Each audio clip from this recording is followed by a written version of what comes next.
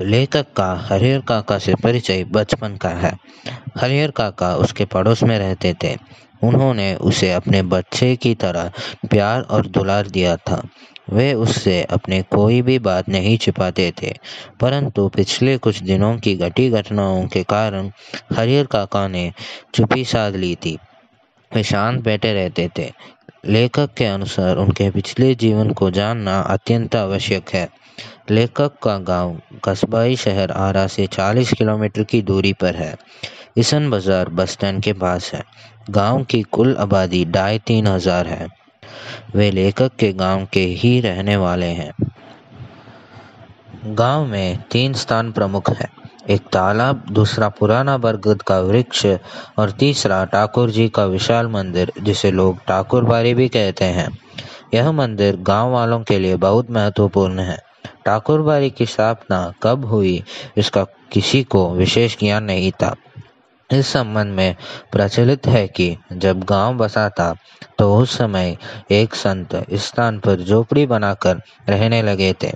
उस संत ने इस स्थान पर ठाकुर जी की पूजा आरंभ कर दी। लोगों ने धर्म और सेवा भावना से प्रेरित होकर चंदा इकट्ठा करके ठाकुर जी का मंदिर बनवा दिया।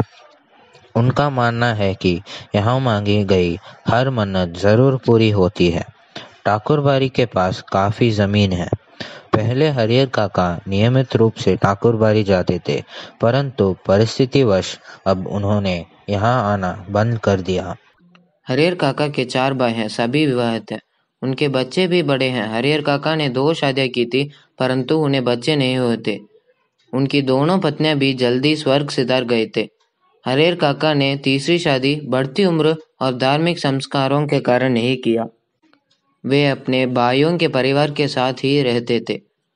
हरेर काका के पास कुल साठ बीघे खेत है।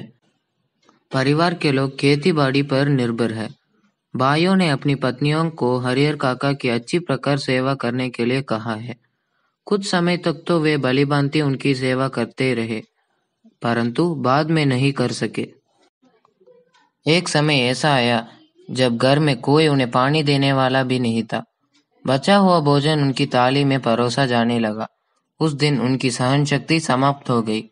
जब हरियर काका के भतीजे का मित्र शहर से गाँव आया, उसके लिए तरह तरह के स्वादिष्ट व्यंजन बनाई गई। काका ने सोचा कि उन्हें भी स्वादिष्ट व्यंजन खाने को मिलेंगे, परंतु ऐसा नहीं हुआ। उनको वही रूखा सूखा भोजन परोसा गया। हरियर काका आग बबूला हो गए। उन्होंने ताली उठाकर आँगन में फेंक दी और बहुओं को खरी खोटी सुनाने लगे।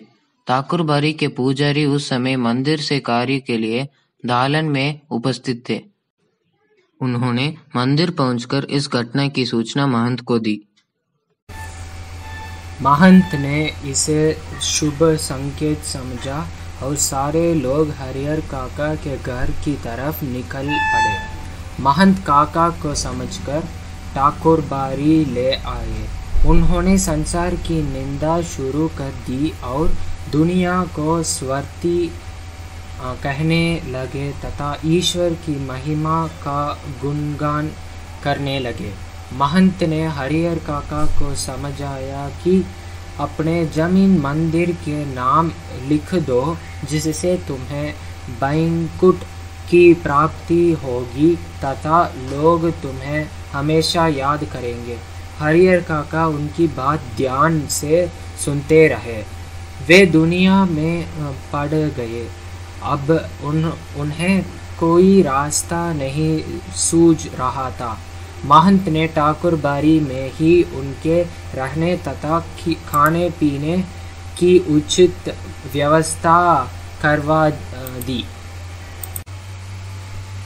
जिससे ही इस घटना की सूचना उनके भाइयों को लगी, वैसे ही वे उन्हें मनाने के लिए फिर ठाकुर बारी पहुँचे। पर वे उन्हें घर वापस लाने में सफल न हो सके।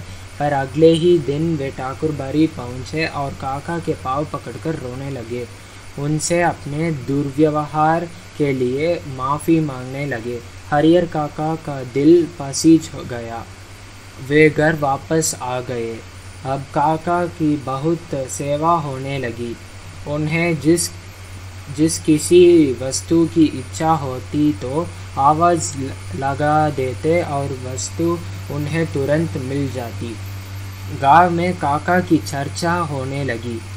घर के सदस्य ज़मीन अपने नाम लिखवाने का प्रयत्न करने लगे, परंतु हरिहर काका के समझ अनेक एक, अनेक ऐसे उदाहरण दे, उदाहरण थे, जिन्होंने जीते जी अपनी ज़मीन अपने रिश्तेदारों के नाम लिख दी थी और बाद में पछताते रहे।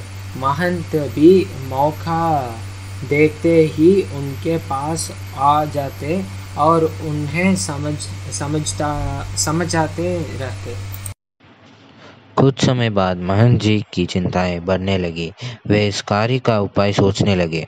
एक दिन योजना बनाकर महंत ने अपने आदमियों को बड़ा गंडासा और बंदूक से लेस करके काका का अपहरण करवा दिया। हरिहर काका के भाइयों एवं गाँव के लोगों को जब खबर लगी, तब वे ठाकुर बारी जा पहुँचे। उन्होंने मंदिर का दरवाज़ा खुलवाने का प्रयत्न किया, पर वे असफल रहे। तब उन्होंने पुलिस को बुला लिया। मंदिर के अंदर महंत एवं उसके आदमियों ने काका से ज़बरदस्ती कुछ सादे कागज़ों पर अंगूठी के निशान ले लिया। काका महंत के इस रूप को देखकर हैरान हो गए। पुलिस ने बहुत मुश्किल से मंदिर का दरवाज़ा खुलवाया, परंतु उन्हें अंदर कोई हलचल दिखाई नहीं दी। तब एक कमरे से धक्का मारने की आवाज़ आई। पुलिस ने ताला तोड़कर देखा तो काका रस्सियों से बंधे मिले। उनके मुँह में कपड़ा टूसा हुआ उन्हें बंधन से मुक्त कर कर उनके भाई उन्हें घर ले गए।